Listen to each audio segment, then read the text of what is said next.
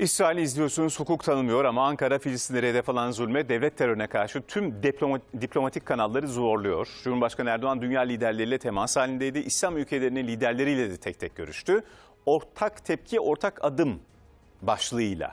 Başkentte yoğun bir diplomasi trafiği yürütüldüğü o dakikalarda Arap Birliği ve İslam Birliği Teşkilatı da olağanüstü toplandı. İsrail'in işgal altında tuttuğu Filistin topraklarında savaş suçu işlediği vurgulandı.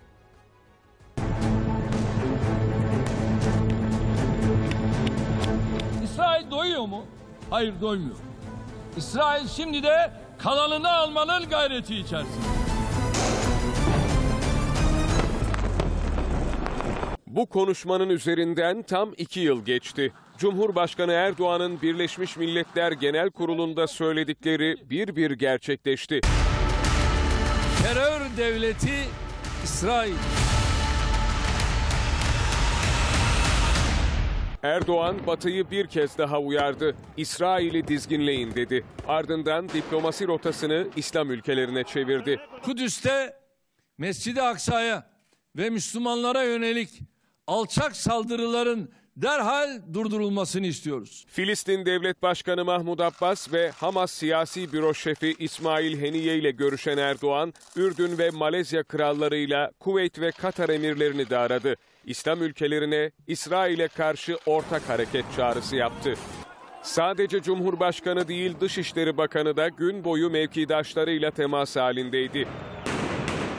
Diyanet İşleri Başkanlığı da yine Cumhurbaşkanı Erdoğan'ın talimatıyla harekete geçti. 60 Müslüman ülkeyle acil Kudüs toplantısı yaptı. Kudüs'te işgal ve zulmü engellemenin yolu Müslümanların birlik ve beraberlik içinde hareket etmesidir. Ankara'nın diplomasi trafiğinin ardından önce Arap Birliği'nin ardından İslam İşbirliği Teşkilatı'nın İsrail'in saldırılarıyla ilgili olağanüstü toplandığı haberleri geldi. Yapılan açıklamada İsrail savaş suçu işlemektedir denildi. Birleşmiş Milletler Güvenlik Konseyi'nin acil koduyla yaptığı toplantıda da Genel Sekreter İsrail'i yıkımı durdurmaya davet ediyoruz açıklaması yaptı. Güvenlik Konseyi'nin İsrail'i kınama bildirisi yayınlaması ise Amerikan heyeti tarafından engellendi.